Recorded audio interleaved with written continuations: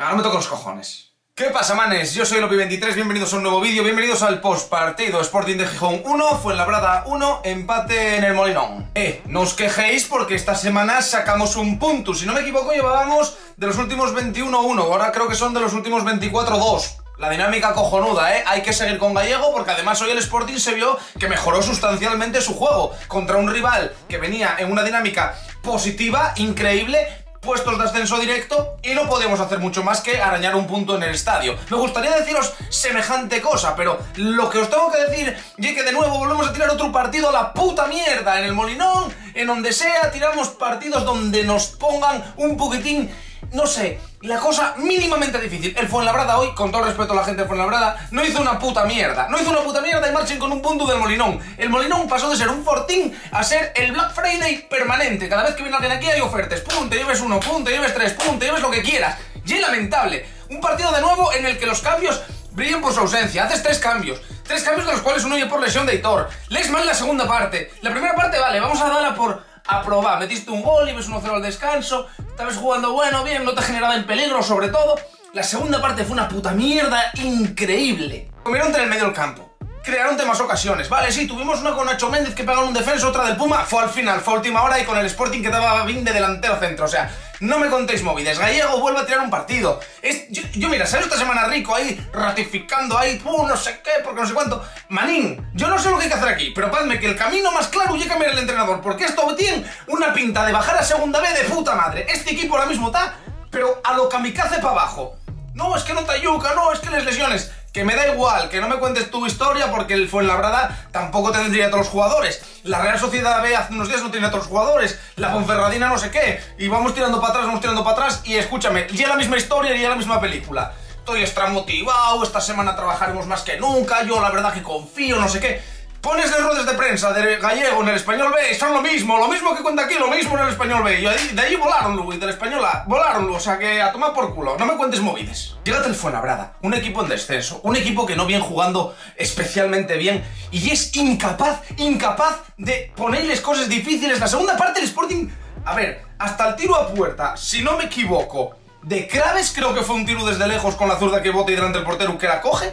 Creo que no habíamos tirado nada. Y eso fue en el 70 y pico. El primer cambio creo que llegué cerca del 70 porque lesiona a Seitor. Luego acabes jugando sin delantero, que vale, Berto hoy la verdad, dentro de lo que cabe, metió un gol en fuera de juego y el resto tampoco hay mucho más. Pero bueno, es que ya lo que hay, ya lo que hay. Es que, ¿qué tiene que pasar? ¿Que nos echen ceares de Copa del Rey para que, para que vuelen al gallego? Es que no tiene sentido nada.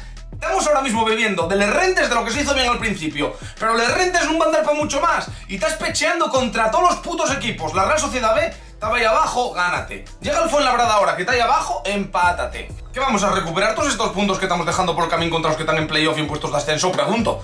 No sé, igual que la idea ya es competir fuerte contra los que están por encima nuestra, que ahora mismo ya son muchos equipos, y, dejar a los de abajo que, que revivan con nosotros, ¿sabes? Somos una puta ONG. Ahora me toco los cojones. Esta situación ya es de crisis, ya, una puta crisis absoluta y ya en finales de noviembre, principios de diciembre. Y bueno, vale, sí, muy mala suerte con las lesiones, con Campuzano, que bueno, lo de Campuzano es que no... Perdonad que llegue a mi cámara pase como a Gallego, quedó sin batería, quedó sin ideas, apagóse, apagóse ahora mismo, dijo, eh, apágome. Es que como, como, como les ideas de Gallego en los partidos, me cago en Dios. Y es lamentable, estamos tirando una temporada que prometía brutal, estamos tirándola por les cabezonerías, por les empecinaures, porque bueno, vale, pues puedes tener muy mala suerte, de verdad que puedes tener muy mala suerte y que no te entre la pelota un partido 2, 3, 4. Pero es que lo que está... ¿Pero qué, estamos haciendo? ¿Dónde, ¿Pero dónde vamos con estos resultados? Pregunto, con estos puntos qué queremos hacer? A final de año, bajar, mm, bajar de, cuartos, bajar de terceros, bajar de segundos, bajar de primeros, pero por la cola, o sea, que el objetivo que posicionarnos bien abajo, porque ahora mismo ya lo que estamos haciendo, estamos posicionándonos en la zona baja. No tiene sentido absolutamente nada. Ninguno. No sé si lo que queremos hacer es como el Deportivo de La Coruña, bajar, es que no entiendo nada, no, no tengo ni puta idea. Lo único que sé es que el fútbol que veo, y veo bastantes equipos de segunda, el Sporting está a un nivel de fútbol muy por debajo de muchos de ellos, pero de muchos. No, no te digo de la Almería, de Huesca, de Eibar, de equipos que puedan tener un equipo potente. No, no, hablote de equipos como la Real Sociedad B que vino y te plantó una pintada de cara espectacular, o el Cartagena que en 45 minutos te reventó. Y es que y es lo mismo siempre, planteamiento más o menos, bueno, podemos comprarlo.